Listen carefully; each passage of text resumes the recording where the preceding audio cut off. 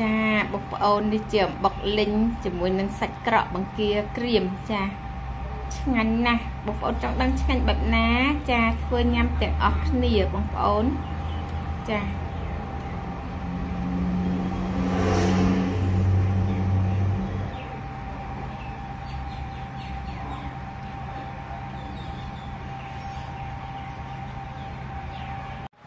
ជំរាបសួរបងប្អូនជាទីស្រឡាញ់ចា ថ្ងៃនេះដែរនាងខ្ញុំនឹងបង្ហាញអំពីការឆាអំបុកជាមួយនឹងសាច់ក្រកអូលីងអំបុកចាសូមអភ័យទោសផងដែរចាឲ្យសាច់ក្រកនេះដែរមុននឹងយើងឆាមុននឹងយើងលីងចាយើងហាន់ជាល្អិតល្អិតមកចាហើយកុំភ្លេចបកសបកសាច់ក្រកចេញចាសាច់ក្រកយើងយើងហាន់ជាល្អិតល្អិតណាចាហាន់អញ្ចឹងមកបងប្អូន ហើយបកសបកពីចោលណាសបកដែលគេគេច្រកខាងក្រៅសម្រាប់ច្រកសាច់ហ្នឹងចាបកសបកចោលចាបន្ទាប់មកយើងហាន់សាច់ក្រកជាល្អិតល្អិតបែបហ្នឹងចាហាន់ជាល្អិតល្អិតសម្រាប់យើងយកទៅឆាចាបន្ទាប់មកឆាសក្រក់នេះដែរយើងមានចាំបន្តិចទៀតនឹងខ្ញុំនឹងបង្ហាញជូន ពីគ្រឿងដែលត្រូវឆាសាច់ក្រកអលីងអំបុកចាចាយើងហាន់សាច់ក្រកឲ្យហើយសិនណាបងប្អូនណាចាដោយសាររដូវអំបុកចាទឹកតែរួចរាល់អកអំបុកនាងខ្ញុំមិនទាន់បានថតចែកជូនបងប្អូនទស្សនាទេចាឥឡូវនេះ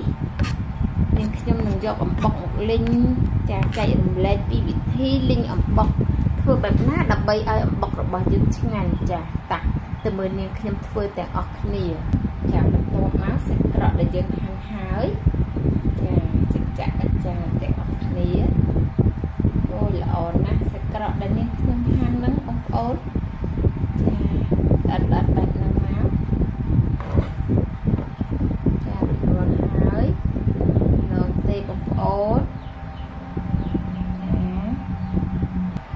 បន្ទាប់មកយើងទៅចិញ្ច្រាំខ្ទឹមទាំងអស់គ្នាចាខ្ទឹមនេះដែរចាយើងដំទួតទួតទៅបន្ទាប់មកយើងបកសបកចោលចាហើយយើងចិញ្ច្រាំវាឲ្យម៉ត់ដើម្បីទុកលីងទុកឆាជាមួយសាច់ក្រកចាពេលដែលយើងលីងបុកហើយហ្នឹងណាបងប្អូនចាឥឡូវរួចរាល់ហើយ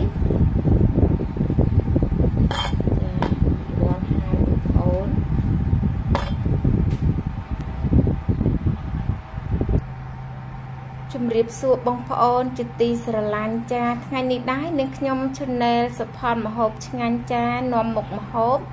មកចែករំលែកបងប្អូនពីវិធីធ្វើចាលីងអំបុក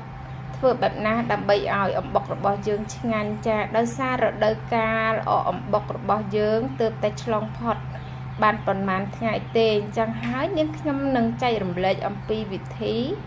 ចាស់លីងអំបុកធ្វើបែបណាឲ្យអំបុករបស់យើងឆ្ងាញ់ចា ចាសសូមជើញតាមដាននេះខ្ញុំធ្វើទាំងអស់គ្នាចាហើយលីងអំបុកនេះមានដូចជាចាចានេះគឺជាអំបុកចាចាបន្ទាប់មកមានសាច់ក្រកចាសាច់ក្រកនេះខ្ញុំប្រើពីដុំចាត់ជាចំណិតស្ដើងល្អិតល្អិតចាបន្ទាប់មកខ្ទឹមចាដើមខ្ទឹមរបស់យើងហ្នឹងហាន់ ជាជាកង់ល្អិតទូទូចាបន្ទាប់មកបង្គាក្រៀមយកទៅលាងទឹកហើយត្រាំទឹកឲ្យឲ្យរីកបន្តិចចាបន្ទាប់មកយើងលាងឲ្យស្អាតចា បន្ទាប់មកខ្ទឹមសចិញ្ច្រាំចាម្សៅរ៉ូឌីចាឲ្យមានប្រេងឆាផងដែរបងប្អូន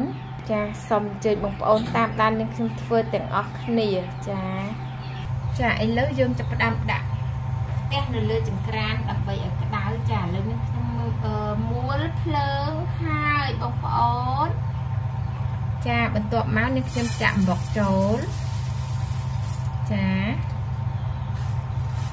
ចាយើងធ្វើការលីងដើម្បីឲ្យអំបុករបស់យើងនឹងស្រួយឆ្ងាញ់ចាពេលយើងលីងហើយចាំយើងឆាជាមួយនឹងសាច់ក្រកចាឆាសាច់ក្រកមិនមែនលីងមិនមែនឆាអំបុកទេចា អំបុកនេះយើងគ្រាន់តែលីងឲ្យស្រួយឆ្ងាញ់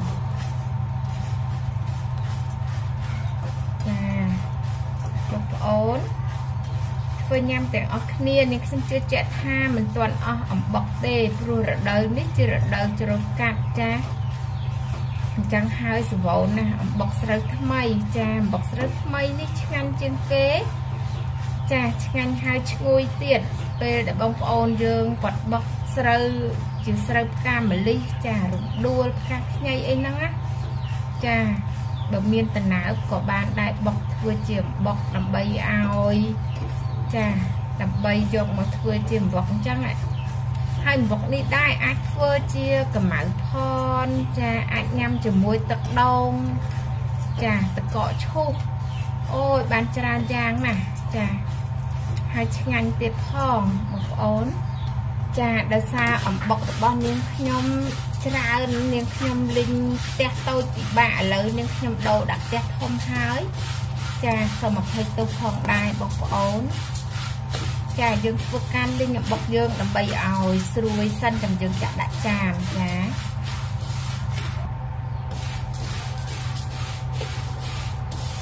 ចាទឹកស្រួយហើយបងប្អូនបុកនាងខ្ញុំចា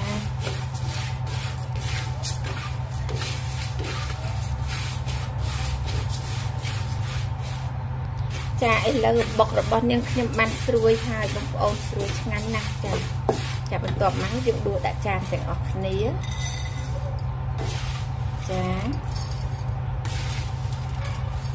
ចាបុកនេះចាជាកេររបស់ដូនតាយើង បានបន្សល់ទុកឲ្យកូនចៅចាចំនួនក្រោយបានដឹងថាបុកនេះជាចាជា ជាអំបុករបស់ខ្មែរយើងចាចាមួយអាចារ្យរួចរាល់ហើយចាឥឡូវអំបុកនឹងខ្ញុំបានលីងរួចរាល់ហើយយើងចាប់ផ្ដើមចាចាប់ផ្ដើមឆាសាច់ក្រកដើម្បីដាក់ជាមួយនឹងអំបុករបស់យើងចានាងខ្ញុំដាក់ប្រេងឆាចូលចាប់បន្ទាប់មកស្ទឹងស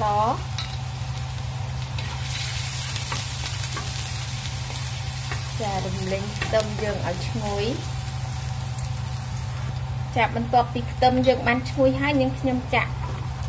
ចាសាច់ក្រកចូលចាដោយសារសាច់ក្រកនេះមានរសជាតិប្រៃផ្អែមចាស្រេចហើយអញ្ចឹងនាងខ្ញុំអត់ប្រើស្ករទេប៊ីចេងក៏អត់ប្រើដែរបើបងប្អូនចង់ដាក់ប៊ីចេងនិងស្ករចាដាក់តាមចំណង់ចំណូលចិត្តរបស់បងប្អូន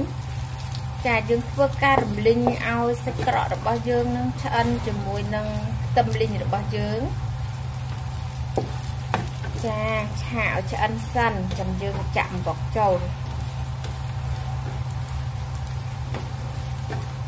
ពីព្រោះសាច់ក្រកចាជាសាច់ជ្រូកអញ្ចឹងហើយយើងធ្វើឲ្យឆ្អិនឆ្អិនទៅងាយស្រួលក្នុងការញ៉ាំញ៉ាំមិនញញើតចាឥឡូវចិត្តក្រៀមហើយ ចាបន្ទាប់ពីសាច់ក្រករបស់យើងឆ្អិនហើយយើងដាក់បង្គាក្រៀមចូលចាជាក្រៀមយើងណា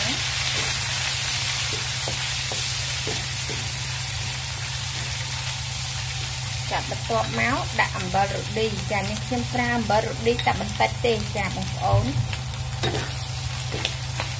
បងប្អូនចូលចិត្តប្រៃផ្អែមបែបណាដាក់តាមចំណង់ចំណូលចិត្តចាចាបន្ទាប់មកយើងចាក់អំបុកយើងចូលអាយ៉ូតំណងណាស់ចាហើយអំបុកនេះដែរស្រួយខ្ញោកឆ្ងាញ់ណាស់បងប្អូនឆ្ងាញ់មែនតើបងប្អូនចង់ដឹងថាធ្វើបែបនេះឆ្ងាញ់បែបណាចាធ្វើញ៉ាំទាំងអស់គ្នាចាកុំភ្លេចធ្វើញ៉ាំណា ពេលដែលមើលវីដេអូនាងខ្ញុំទស្សនាវីដេអូនាងខ្ញុំហើយធ្វើញ៉ាំទាំងអស់គ្នាចាប់បន្ទាប់មកយើងលីងឲ្យអំបុកនឹង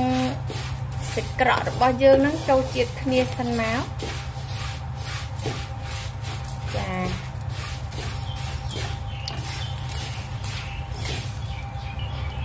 ចាដោយសារតែ អំបុកលីងរបស់នាងខ្ញុំអត់បានប្រើទឹកត្រីអញ្ចឹងនាងខ្ញុំប្រើអំបិលរឌីចំនួន1ស្លាបព្រាកាហ្វេចាបងប្អូនចាំមិញនាងខ្ញុំថែមកន្លះស្លាបព្រាស្លាបព្រាកាហ្វេទៀតហើយចា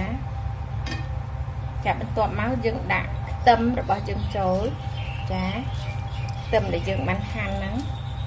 ចាយើងដាក់ចូល ចាបន្ទាប់មកយើងឆាបន្តទៀតលីងបន្តទៀតដើម្បីឲ្យខ្ទឹមរបស់យើងនឹងឈ្ងុយចាចាឥឡូវរួចរាល់ហើយយើងបិទក្រាស់ទាំងអស់គ្នាបងប្អូនចាចាដាក់ចានចំណងណាស់ឆ្ងាញ់មែនតែនបងប្អូនចា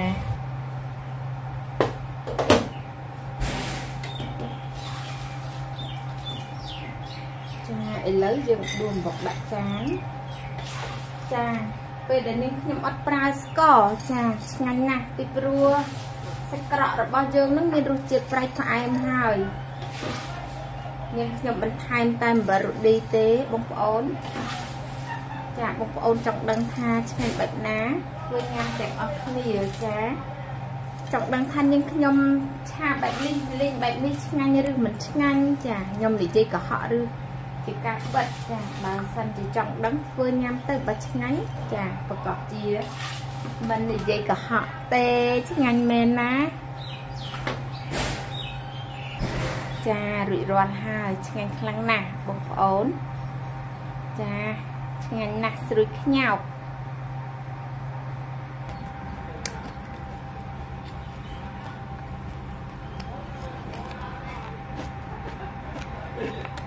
ចាំរួចឆ្ងាញ់ណាស់បងប្អូនឆ្ងាញ់ប្រមាណចានាងខ្ញុំអរគុណច្រើនសម្រាប់ការជួយតាមដានវីដេអូរបស់នាងខ្ញុំតាំងពីដើមរហូតដល់ចប់ចានាងខ្ញុំជូនពរបងប្អូនសូមឲ្យមានសុខភាពល្អចាកុំភ្លេចជួយ like ជួយ share ជួយចុចសញ្ញាកណ្ដឹងឬសញ្ញា subscribe ជូននាងខ្ញុំផងដើម្បីទទួលបាននូវវីដេអូថ្មីៗពីនាងខ្ញុំរាល់ថ្ងៃចាអរគុណច្រើន